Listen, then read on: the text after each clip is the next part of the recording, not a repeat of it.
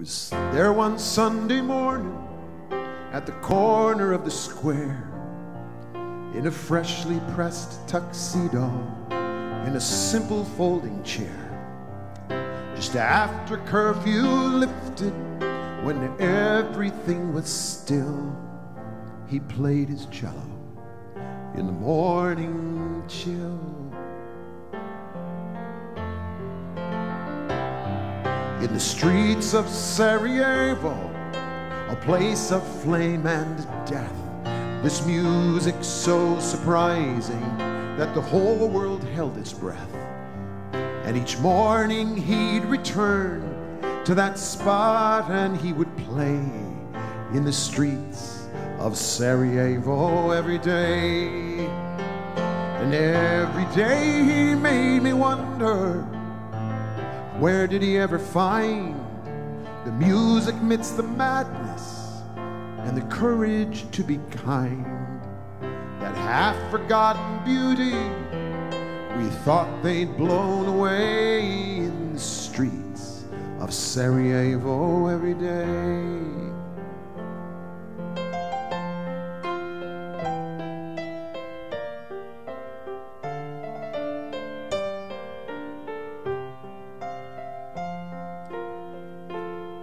And many was the day the soldiers asked him who he was, and they warned him of the danger in doing what he does.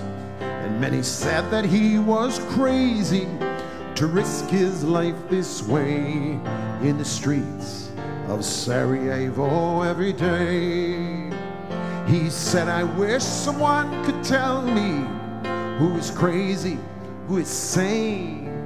Those who stand in protest, or those who drop these bombs like rain, those who fill our lives with death in this place where children play in the streets of Sarajevo every day.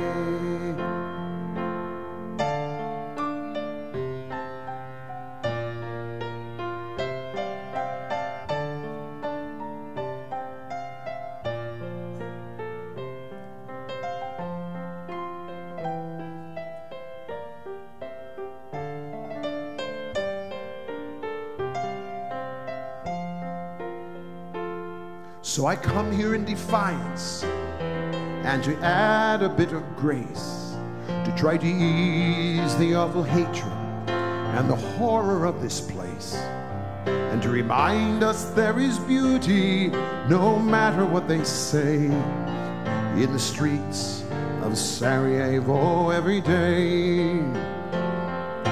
Every day I see them, those who will not stand aside who refuse to be defeated, who rage against the tide. They are a glimmer in the darkness, rolling off the stone, a message in a bottle from the distant shores of home. And every day made me wonder where did he ever find the music? Courage to be kind. That half forgotten beauty we thought they'd blown away in the streets of Sarajevo, in Aleppo and Riyadh, in the streets of New York City, in Paris and Baghdad, in the streets of every city every day.